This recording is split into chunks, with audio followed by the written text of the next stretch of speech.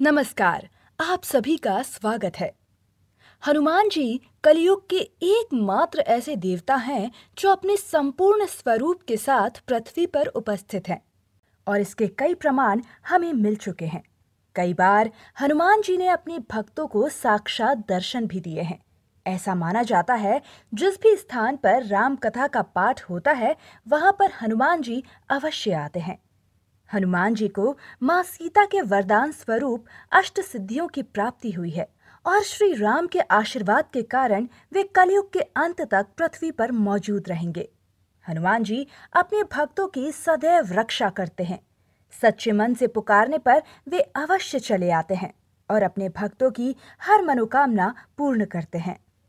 हमारे देश में प्रत्येक गाँव के बाहर हनुमान जी का मंदिर बनाया जाता है। ताकि बुरी शक्तियाँ गाँव में प्रवेश ना कर सकें।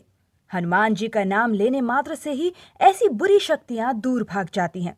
आज हम आपको हनुमान जी के चमत्कार की ऐसी एक सच्ची घटना के बारे में बताने जा रहे हैं, जिसे जानने के बाद आपको सच में यकीन हो जाएगा कि हनुमान जी सच में हैं और वे अपने भक्तों की रक्षा करने अवश्य आते हैं।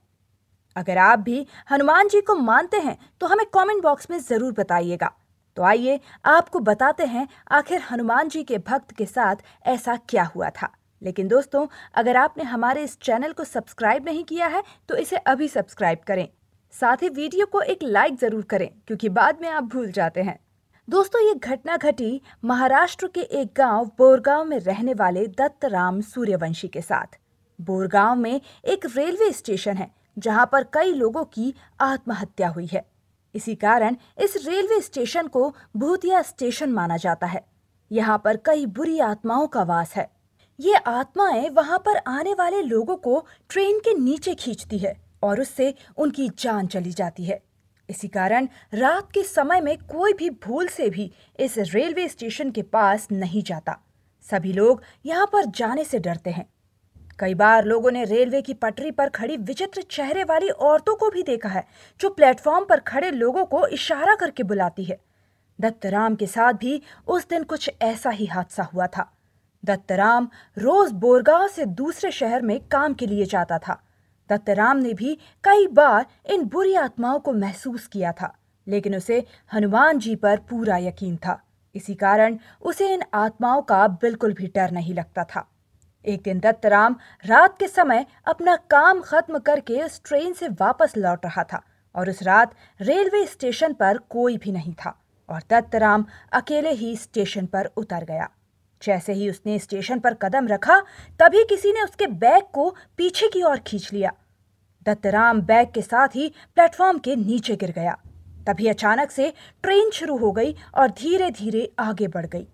तभी दत्तराम के साथ ऐसा चमत्कार हुआ कि जिसे सुनकर आपके होश उड़ जाएँगे। किसी ने दत्तराम को ट्रेन के प्लेटफॉर्म के नीचे गिरते हुए देख लिया था। तभी वो ज़ोर ज़ोर से चिल्लाने लगा।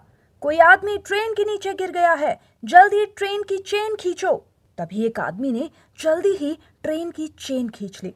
चेन खींचने के बाद ट्रेन थोड़ी दूर जाकर रुक गई। सभी लोगों को लगा कि वह आदमी शायद मर गया होगा।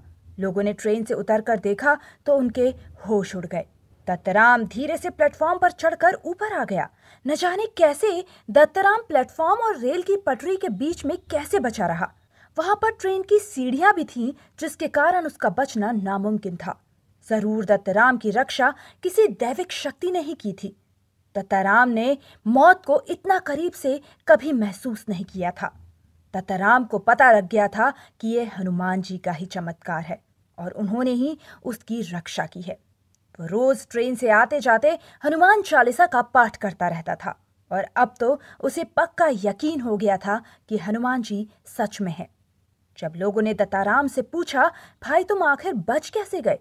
तब दत्ताराम ने कहा, जैसे ही मैं प्लेटफॉर्म के नीचे गिरा तो मैंने अपनी मौत को महसूस किया और मैंने अपनी आँखें बंद कर ली। और उसके बाद क्या हुआ, मुझे कुछ समझ नहीं आया।